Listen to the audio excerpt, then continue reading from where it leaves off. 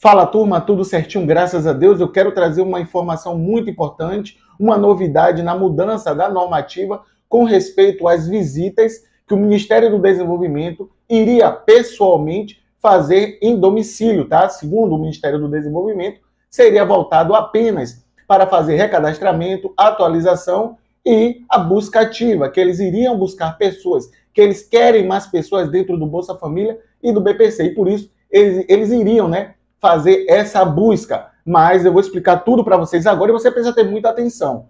Porque pode até falar assim, ah, Silvas, mas eles informaram que seria atualização, recadastramento e busca ativa.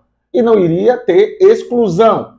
Vamos, vamos, comigo aqui, ó. Vou colocar aqui, dessa vez eu não vou esquecer, que nem no outro vídeo, né, que a gente acabou falando, mas a gente explicou e a gente não colocou, né? E a gente até já pediu desculpa aqui no outro vídeo. Então, turma, olha só. Aqui está.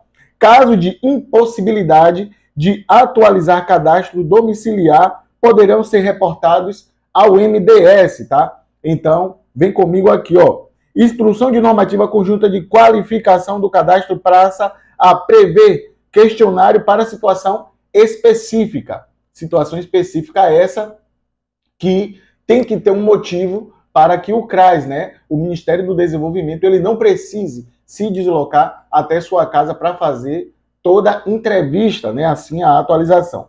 Para a regularização dos registros das famílias dos públicos 3 e 4 de averiguação cadastral 2024, a atualização cadastral em domicílio é obrigatória. Quero dar uma paradinha aqui para explicar para vocês. Muita gente está falando assim, mas Silvas, é, é apenas obrigatório para o público 3 e 4. Ponto. Obrigatório mas os outros não é obrigatório. Contudo, o valor de 50 reais por casa, por atualização, vale para todos que o sistema mandar ali a lista, né? Então, é, existe uma necessidade de ir, tá? De 50 reais por cada, e só vai pagar se tiver todo o público 20%. Então, querendo ou não, o CRAS ele vai fazer esse papel, tá? Então, é, acredito eu que não vai deixar passar para depois. Então, para esse grupo é obrigatório. E para os outros, não é obrigatório, mas ainda assim, contudo, para receber o valor de 50 reais que a gente já trouxe, tem que ter acima de 20% de todo o público que está na lista. Tá? Então, público 1, 2, 3, 4, todos os públicos podem receber essa visita. Mas teve mudanças, né? Então, assim, ó, é, porém, alguns municípios podem enfrentar situações excepcionais de emergência ou calamidade, ou enfrentar uma situação de violência ou ameaça que impeçam a realização da visita ao domicílio para atualização dos dados dessas famílias. Uma pergunta agora. E qual município não está passando por situação de calamidade, né, devido às chuvas, e de violência?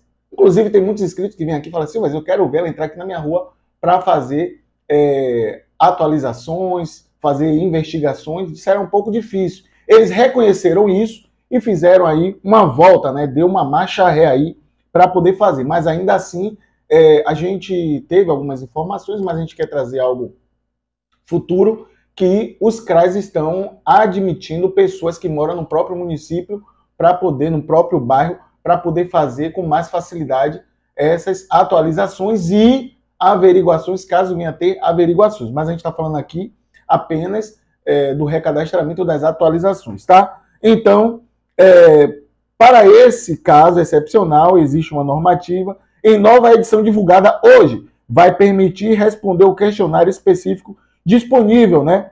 É, esse questionário pode ser usado apenas em duas situações.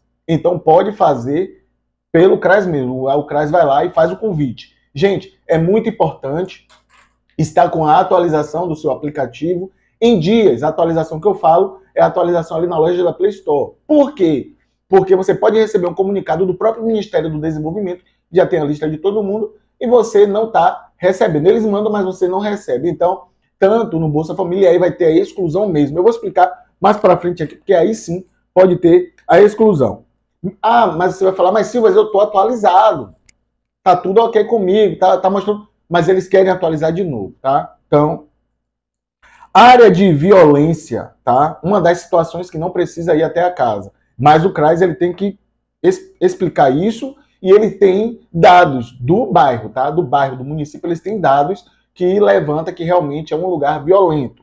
É, situação que o entrevistador é impedido de acessar a casa da família ou área que a família mora em razão de risco ou ameaça da sua integridade física. Quer dizer, é, o entrevistador ele tem que ser primeiro impedido, em alguns casos, e nos outros, é, é, ameaça tem uma, um grande risco. Então ele tem que relatar isso também. Calamidade de emergência e desastres. Situação de alagamento, deslizamento de terras, incêndios ou outras ocorrências que podem impedir o acesso da gestão municipal que está afetado para ir na sua residência, tá? Então, como estamos vendo aí o estado do Rio de Janeiro, Santa Catarina, então também pode ser um impasse aí para poder ir lá fazer as visitas, tá? Bom, é, olha só o que diz aqui mais abaixo, vou colocar também aqui para vocês.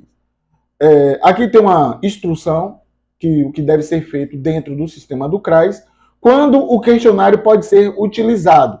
Esse questionário ele pode ser utilizado na área de violência ou calamidade de emergência que a gente já leu lá atrás. Quando o questionário não pode ser utilizado, ah, é, não tem como questionar, então tem que fazer o relatório e manda. E aí quem vai decidir é o Ministério do Desenvolvimento, tá? É um relatório que só é para ser usado, uma observação, só se tiver esses dois itens.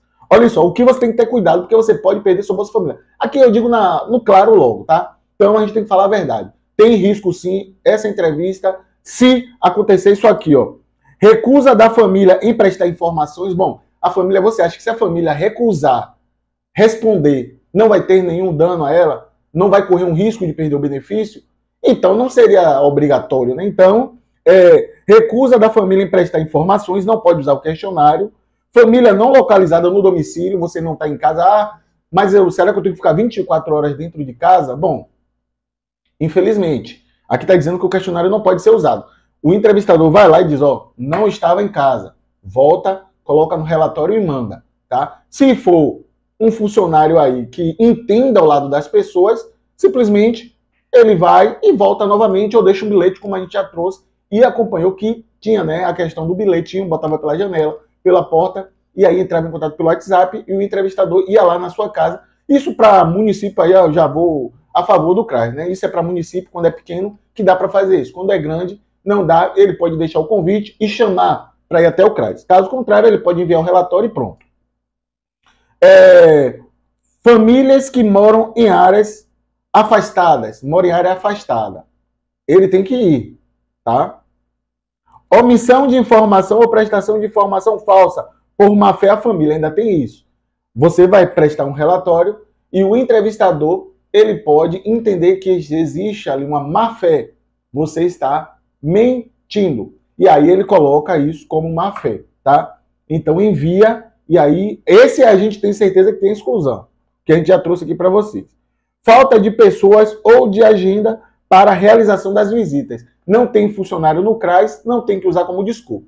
Se não for, problema do CRAS. Se for, aí o CRAS está certo. Mas se não for, eles não podem usar essa aba de questionário. Lembrando, gente, isso aqui é um documento para o CRAS, tá? A gente está falando aqui com vocês, mas é o que está acontecendo lá, lá dentro do CRAS e do Ministério do Desenvolvimento. A gente intermediou aqui para trazer para vocês, porque ninguém do CRAS vai ficar explicando isso para vocês, tá? Então, assim, é, por falta de pessoas, não tem gente suficiente. Então, o CRAS ele não pode usar como desculpa. Simplesmente ele não vai e acabou. Agora, se ele for, esse questionário também não pode ser utilizado para esses itens. É, Lembre-se que a entrevista no posto de atendimento deve ser feita de modo muito qualificado para evitar a inserção de informação inverídicas no cadastro único. É, é dever do município zelar pela fidedignidade das informações registradas no cadastro único. Gente, desculpe a leitura, mais uma vez eu vou mostrar para vocês, está muito pequenininho, olha só, muito pequeno. Aqui vou deixar grande, mas deu para vocês entenderem, tá? Então, quem for no CRAS, é, eles vão buscar todas as informações para deixar bem detalhado, bem certinho, para que não haja erros. Então, assim, as visitas, se você mora em um bairro muito perigoso, saiba que é muito difícil CRAS. Pode até ir, né? Tem um aí no CRAS que vai, vai lá e faz todo o procedimento. Mas é, eles entenderam isso. A gente sabe que não é só isso. Existem outros fatores também. Não vai porque não tem gente suficiente em um CRAS. No, no máximo ali, acredito que dentro de um CRAS, para fazer esse trabalho, trabalhe três, quatro pessoas, para atender 200 por dia, não, não tem como, né? Então, é, ele pode fazer esse convite, você tem que ter bastante atenção, porque um desses itens aqui que eu citei para vocês não vai ser utilizado para desculpa, né? Que não fez a atualização, não fez o cadastro, e aí sim você pode vir a ter o seu benefício comprometido, tá? Porque se você não falou na outra parte ali que esse a gente tem certeza da má fé. Porque aqui a gente não pode é, dar certeza de algo que não é nosso, tá? Então, é, a gente só dá certeza daquilo que é nosso. Então, aqui pode ser que vai ter pessoas que continuam, mas existe um pouco de dificuldade quanto a isso, tá, turma? Então, meu papel, eu tô aqui ajudando você no seu braço amigo. Se você tiver dúvida, por gentileza, deixe nos comentários abaixo. Gente, não esquece de se inscrever no nosso canal, tá bem? E ativa o sininho, porque assim que tiver novidade, a gente traz para você. Que Deus abençoe a sua vida com a infinita bondade dele no nome de Jesus e valeu!